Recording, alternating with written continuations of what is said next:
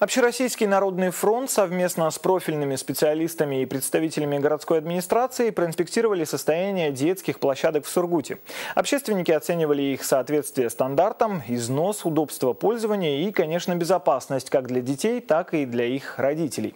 Об итогах проверки расскажет Никита Жуков.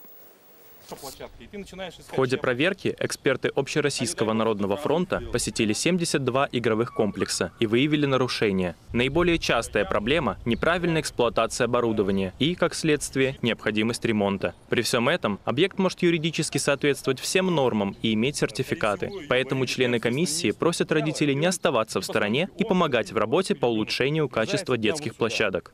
Родители в первую очередь э, должны обращать на это внимание, потому что подвергая опасности, э, выпуская детей на эти детские площадки, э, должны в первую очередь обращать на это внимание и звонить управляющей компании и принимать какие-то соответствующие меры. Сами конструкции, возможно, что и соответствуют ГОСТу, да, но материалы, именно вот дерево, оно разрушено, а металлоконструкция покрыта ржавчиной, коррозией, что небезопасно, детки там могут зацепиться, поцарапаться и так далее.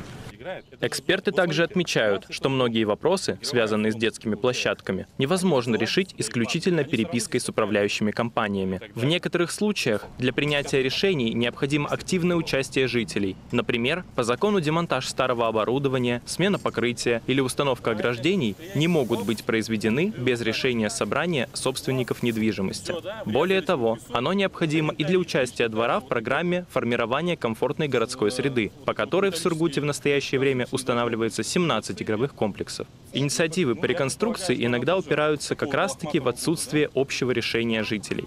Я бы хотела еще э, уведомить жителей о том, что у нас есть прекрасная система э, ГИС ЖКХ. В настоящее время любой собственник может инициировать э, общее собрание собственников по а, данной информационной, государственная информационная система ГИС ЖКХ, где они могут провести общее собрание собственника, не выходя из дома.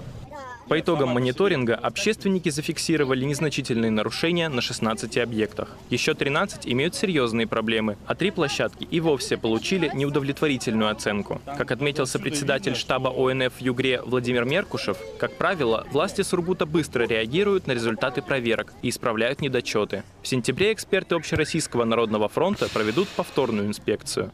Никита Жуков, Дмитрий Круковец, Сургут 24.